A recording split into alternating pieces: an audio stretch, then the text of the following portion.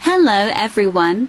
Before we delete our account, we want to sincerely apologize to Huening Bahiyyih and Toto's people that we have hurt. We're also sorry for hating other pop groups such as BTS, Twice and Stray Kids. We have realized what we have done and it disgusts me on what we've been doing even though we know that we're doing cyberbullying. Now that we have been watching Bai's steps on improving one very episode, we have been quiet since we know that Bahiyyih is talented. We realized how we enjoyed the attention we received but also unsatisfied on how many hates we got. From now on, I'd like to inform me followers that you should also stop hating Bahiyyih. Let's end this and it's up to you if you support her or no. Anyways Stan Kep1er, SDA Not 9 and Stan Hugh.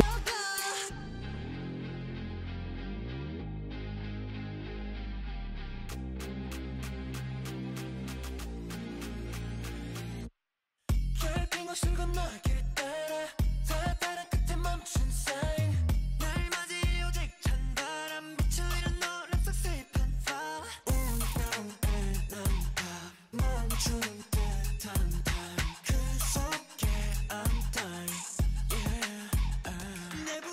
부르는 voices I'm the king of this now 이름을 이끌려온 혼란성 내 Really lost my mind Really really really really lost it Hit me up voices 모르겠어 why 내 운명은 what 뭘까 좀 답답해 Really lost my mind Really really really lost it 오케이 때가 왔어 오랜 다리를 끝내 움츠렸던